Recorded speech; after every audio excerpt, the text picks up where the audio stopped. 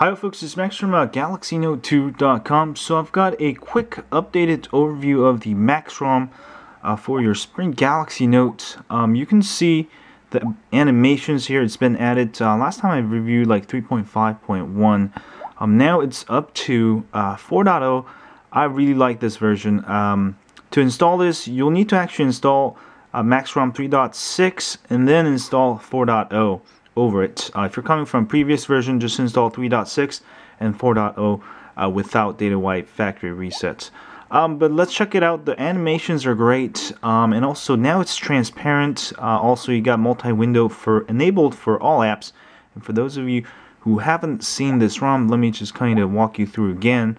Uh, here we go. And uh, uh, in settings here, um, you'll be able to get uh, let me see here, STweaks here, uh, you'll be able to get overclocking. Sorry, my screen's really dirty today. Uh, we're over at my parents' house, so I lost my swiping thing here. Uh, I've got it overclocked to 1.8 gigahertz uh, set on boot, and uh, it's pretty fast without any overclocking. Uh, you can overclock for extra speed, but you can definitely notice also got flash player. And also you can use this um, Trev E mod for uh, tethering and also, if you have trouble picking up 4G signals, um, what you can do is um, after you install ROM, sometimes this can go uh, weird on you. Just make sure it's set to uh, CDMA, uh, LTE CDMA, and then reboot your phone, and it should be all good to go. I've, I was actually getting some 4G signals, um, which they're working on right now. And uh, other than that, uh, also does come with uh, 360 degree rotations for the launcher and also uh, for the drawer. So that is really nice. Um, and also does have call recording and all the other stuff um, that was here before.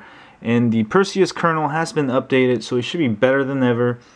And uh, uh, that's pretty much it. And also the toggles up here. I like kind of how it's grayed out here.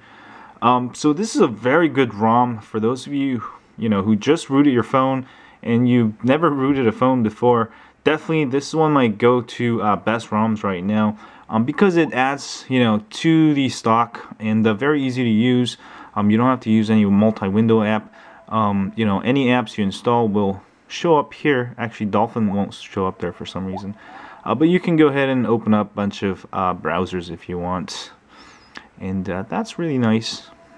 Uh, so check it out. Just a quick update you know, subtle improvements, and uh, I think you'll like it. And I've gotten pretty good feedback on this ROM, um, so check it out for your Sprint Galaxy Note 2.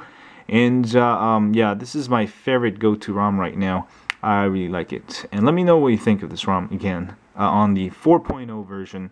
Um, and uh, if you have a Galaxy Note 2, as always, don't forget to sign up for my email list at galaxynote2.com. We update you once a week uh, with ROM Week tips, and. And uh, if you're on YouTube, please hit that like button here, subscribe button also down there, and I'll see you guys later. And stay cool and keep flashing ROMs. Yeah. Oh, I totally forgot this one. Um, you do get the scrolling wallpaper. Now you see how it's scrolling in the back behind. So that's kind of cool too.